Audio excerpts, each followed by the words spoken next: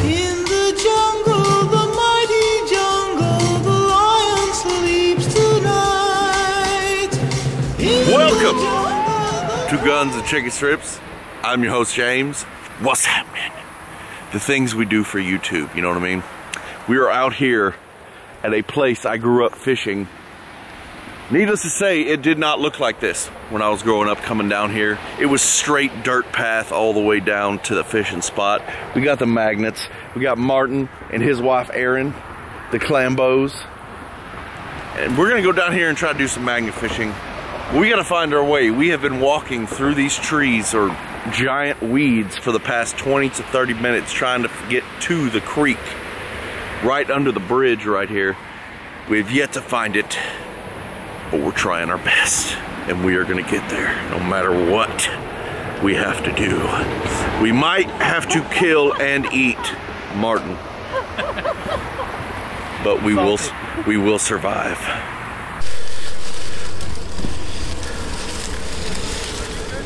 Yeah, we're here. I had to push my way through, but we're here. Finally made it to the destination. not gonna lie, this was not easy to get to. When I grew up here, there was a straight dirt line from, I guess they put these power lines over here and you get to it. But now, this is what we just came through. All that, about 10 foot high weeds and trees and grass. They're already started down there. I'm about to bust out the 500 pounder. Let's kick it over to the GoPro. Let's do this. First throw of the day.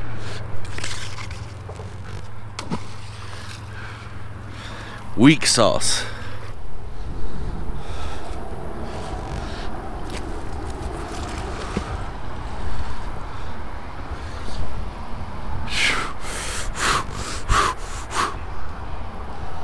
Fishing boat just passed by here. Told us that train fell off that track here a few years ago and they're seeing a bunch of metal stuff over there. Get anything yet, Martin? I can tell there's, there's stuff down there, but this is my first time to throw right here. Yeah. So far over here, this is Martin's catch. Some sort of metal rock. Stupid little metal thing. And a stupid little metal bolt. And then another bolt. That's Martin so far. I have caught absolutely nothing. But we're getting there.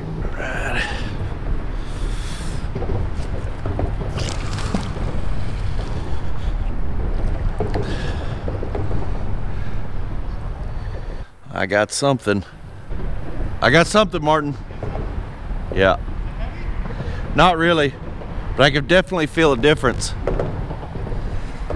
Oh, first significant find of the day. Train spike. Nice. Look at that. That is awesome. I want to find a whole bunch of these and make some knives out of them. That'd be really cool. Okay. Look at that. So far, it's one of those things.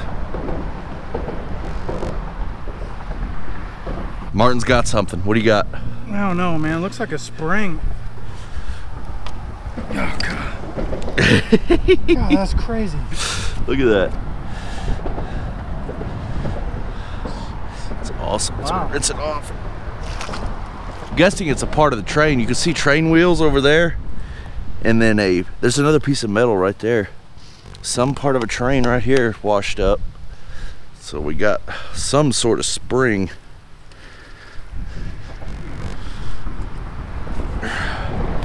That's awesome.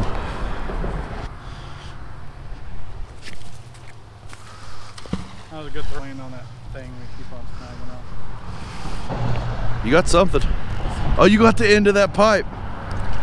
Oh, it's a railroad connection.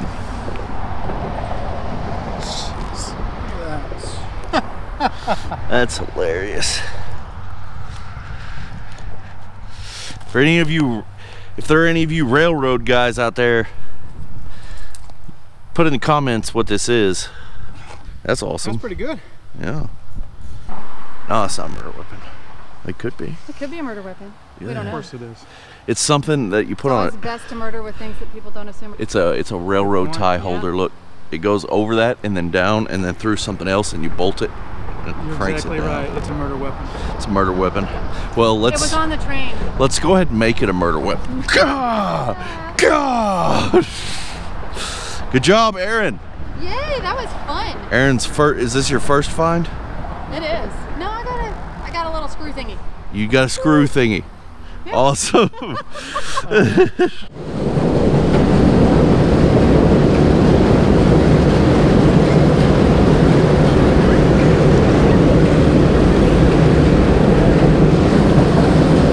Another one?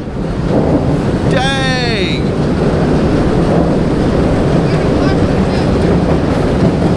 Dang. Erin is over there just raking in stuff. She got something else. It's just it's not fair. She's just catching everything. But she got this, and this looks like the nut that goes on the end of that. She got another railroad spike. What'd you get? I don't know, but it's shaped like a J. Ooh, a big nut. That's your second nut you've got of the day. You're lucky. screw thingies in it. That is awesome. I don't know what it is, but it's cool. But I also got a fishing Ah. line. Ow, right in my face, babe. Who knows what that is? It's filled with mud and goo. Erin's just raking stuff in over here. Jeez. More railroad spikes. I can totally Pinterest that up, man. Yeah, I have a knife made out of one of these. Just raking the stuff in. What?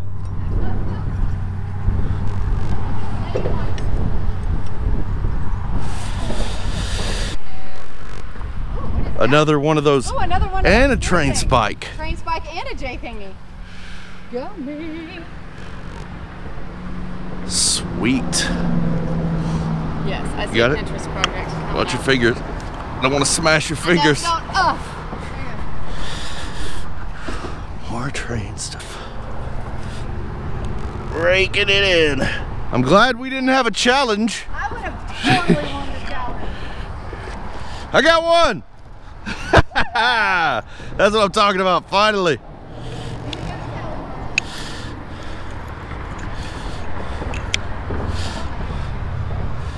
Finally.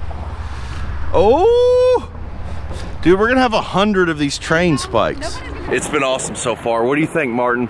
We had, we had a successful day. We got a lot of stuff out here. Check it out. There's plenty more. Yeah. Yeah, definitely. Look at all these railroad spikes. So many of them, and some sort of like shock absorber for a train, some sort of connections, brake connection, I'm not sure. If you look over there, you can see railroad wreckage, the wheels and stuff like that.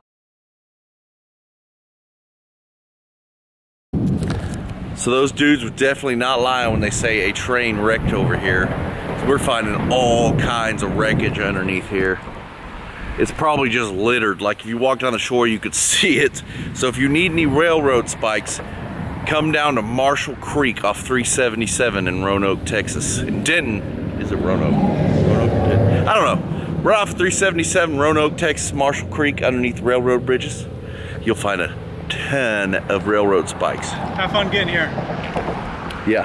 Have fun getting here. We're gonna take this little way out here instead of trying to walk back through the bush. I didn't bring my machete, so it would not be easy to get out of here. It's been an awesome day so far out here at Marshall Creek. We're about to head over to a place I haven't been to in a long time, but it's Texas famous. Can anybody guess what it is? Pause the video right now, put it in the comments if you can guess what this is. It's in Roanoke, Texas. It's Texas famous. Let me know. Come on, girl. Yeah. It's me, Jackie. Oh, give me that look. That's right. Let's get sweaty. Let's get real sweaty. I'm talking rainforest sweaty. Food coma engaged. One thing that people always do when we get back in my truck is mess with my sunglass Which one now? sunglasses collection. These are mine, dude. Are yours? Yeah. Oh, well, you've got good taste in sunglasses. We are headed back to drop off Mr. and Mrs. Clam, aka the Clambos, aka the Clam Chickens. Cruising through downtown Keller, Texas. One of my little favorite towns in the state of Texas. Not really. I love Canadian Texas. Canadian Texas is my jam. That's up, if you don't know where that's at, that's up in the panhandle. It's like on the top of a pretty large, not mountain, but hill type thing. And it's just beautiful. When I retire, that is 100% where I will be retiring to. And I had no idea there was a Sam's there now. But anyway, it was an awesome day with the with the homies over here. I'm gonna go hang out with my nieces, my sweet little nieces. And if you didn't know, my sister-in-law just had my first nephew, Jax. Congratulations to them. I can't wait to get to know the little fella. And I made both my nieces when they were born little moccasins out of old boots and purses and leather trinkets that I found around. My hair. Look at that glorious flowing locks. Wow! So I gotta make him something awesome, like a like a beast leather vest and some Viking forearm leather wraps. I don't know yet. But it's gonna be a good evening because I'm gonna sleep. What is on your mind, Martin? Uh, the fact that you're talking about food comas, I'm ready to do some sleeping. Sleeping. Yeah. Sleeping is where it's at. I'd like to thank y'all for watching Guns and Chicken Strips. I love you. Y'all are rocking. Totally freaking awesome, dude.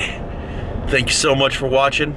I hope y'all have a amazing rest of your weekend. And as always, we'll catch you tomorrow, big chickens.